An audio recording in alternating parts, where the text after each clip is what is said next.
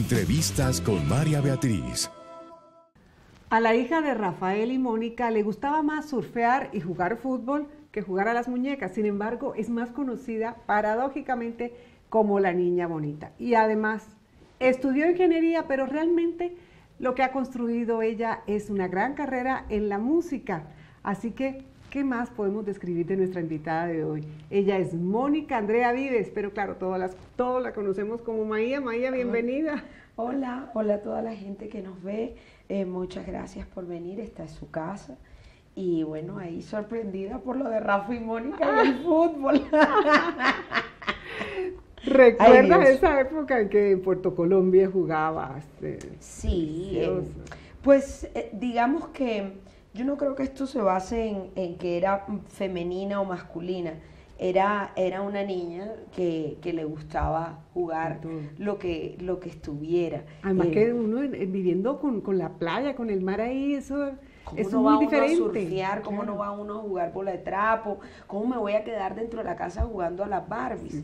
Muchas amigas lo hicieron, por supuesto, pero, pero yo por eso era más amiga de los muchachos, que al día de hoy es, ha sido una gran ventaja porque pues, eh, lo, que, lo que hay en, nuestra banda, en la banda de Maía, eh, son casi todos muchachos de todo tipo de edades. Pero bueno, hay que decir... Eh, que en aras de la verdad es que ella además era juiciosa, era una alumna excelente, muy, muy, muy nerd incluso, ¿no? Me decían rata de biblioteca. Eh, no es muy estético el nombre, pero digamos que sí, era, era muy buena estudiante, me gustaba la matemática, me gustaba eh, el colegio cuando, cuando yo tenía gripa o algo, yo yo era exacta como Lisa Simpson. Mi papá, quédate que estás mal. Y yo, no, no hay la menor posibilidad. Yo me quiero ir para el colegio, pilas.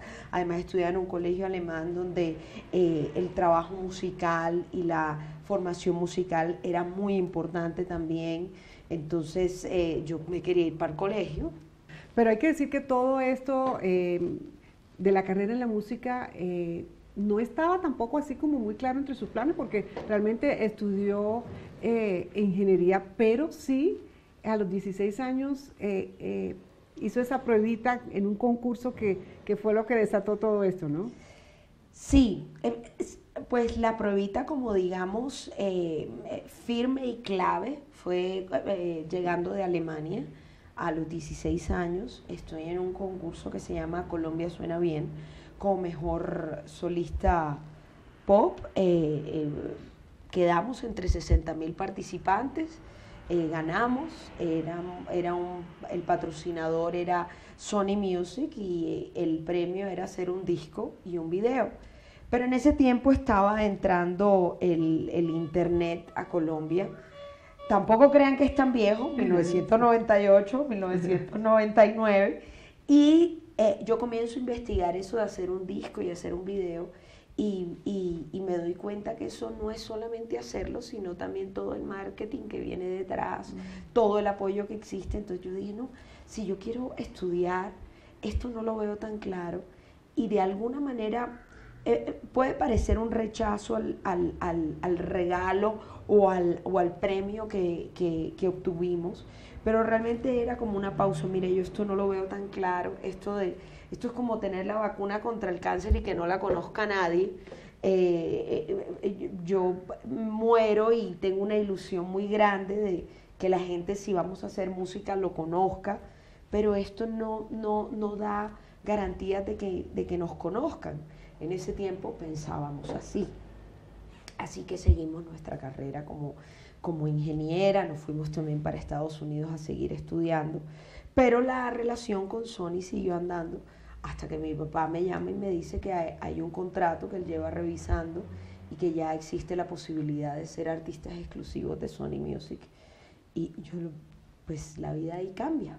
Cambia totalmente. Pero bueno, todo este comienzo de la carrera de Maía viene de la mano de ese éxito de, de, de Niña Bonita, que, que, con la que usted tiene como una relación de, como, yo siento que es como una relación de amor y dolor, o sea, como que le trae de todo, como, como cosas buenas y cosas malas. ¿Es, es así? Es así. Em, primer sencillo de un primer disco que realmente nosotros lanzamos julio 31 del 2002. Y hubo seis meses que no pasó nada. Solo hasta que en enero del 2003 deciden tomar la canción para una novela que fue muy querida por la gente.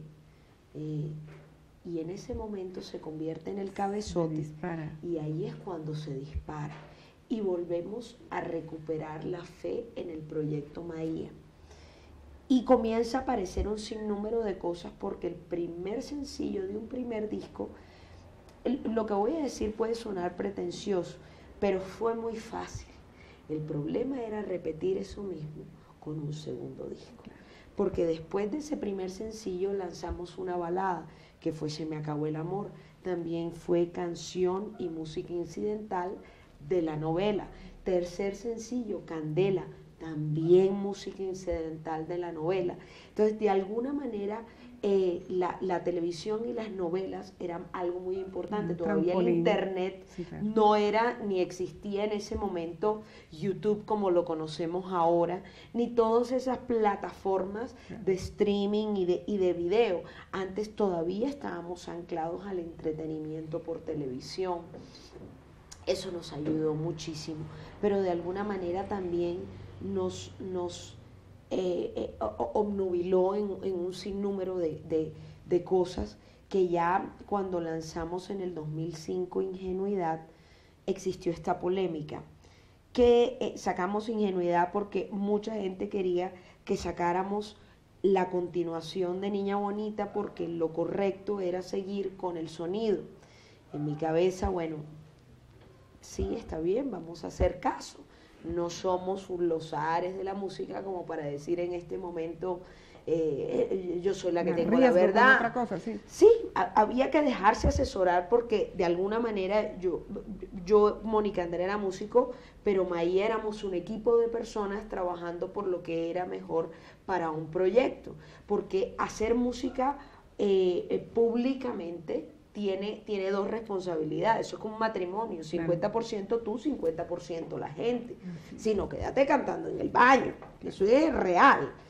Y cuando lanzamos Ingenuidad aparece este fantasma de Maía no hace más que cantar la misma música, no sabe cantar más nada, como otros. Me encanta, Maía siguió una línea. Y ahí es cuando yo digo, esto se viene abajo. No veo futuro, yo no veo una claridad de proyecto, paremos la pelota y a todo el mundo le da un ataque. Porque yo paro pelota con manager, yo paro pelota con, con el proyecto Maía y me vuelvo a convertir otra vez en Mónica Andrea. Le pido a Sony que por favor me deje ir. Ellos fueron muy lindos, me dijeron perfecto.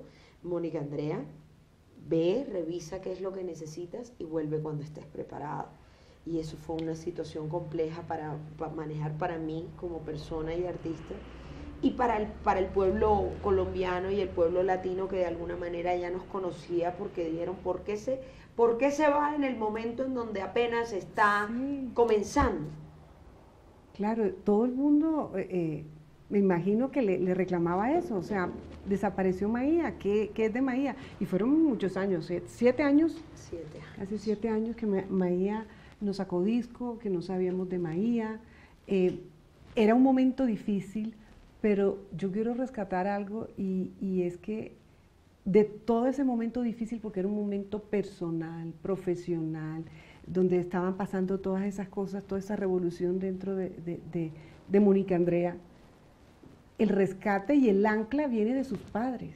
Sí, así es. Eh, el ancla siempre, siempre ha estado en mi hogar, en mi casa, en nuestro triunvirato, como, como decíamos antes de, casarnos.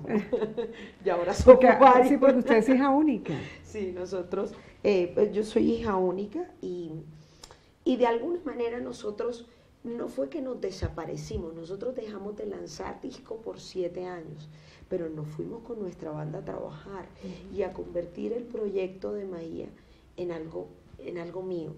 Duramos muchos años tratando de alguna manera borrar Mónica Andrea, eh, eh, que tuvo cosas muy chistosas y, tuvo cosas también muy, muy complicadas. eh, las cosas chistosas fue la, la, primera vez que, bueno, qué lindo verse con las, con las cejas depiladas. Mónica Andrea tiene ojos, ahora sí es Maía. Oye, ¿cómo te ves de linda sin bigote? Todas esas cosas que pasan. Porque digamos que la estética no era parte de mi, de mi vida. Mi vida era la playa y estudiar y la música.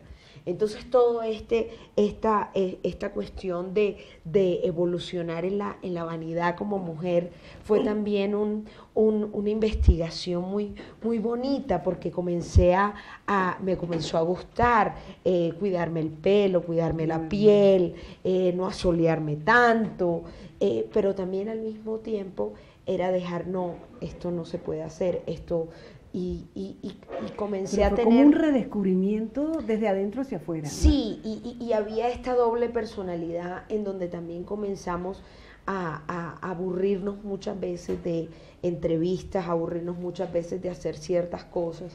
Entonces estos siete años era buscar el sonido, nos dimos cuenta que no éramos un género, que éramos un sonido y nos dimos cuenta también que María sí era un equipo definitivamente que Mónica Andrea hacía parte de ese equipo que se llamaba Maía y, que definitivamente eh, eh, Maía no podía perder la esencia de Mónica Andrea si no dejaba de ser Maía. Era, era poner las cosas en su sitio y para eso hay gente que dura seis meses, hay gente que dura un año, hay gente que nunca lo descubre y le va igualmente bien y puede vivir con eso. A nosotros nos tocaron siete años. siete años. Bueno, ese es un número cabalístico además, entonces puede tener algo que ver. Pues, y lo cierto es que después de la tempestad siempre viene la fiesta de verano. Así que vamos a hablar de eso, de toda esa música nueva que, llegó nuevamente, eh, que nos trajo Maía, eh, cantando con Maluma, con Kevin Flores, eh, incluso hasta con el Papa. Así que tenemos que hablar de todo eso, pero vamos a hacer una pausa y ya regresamos para seguir hablando con Maía. Ya regresamos con Entrevistas con María Beatriz.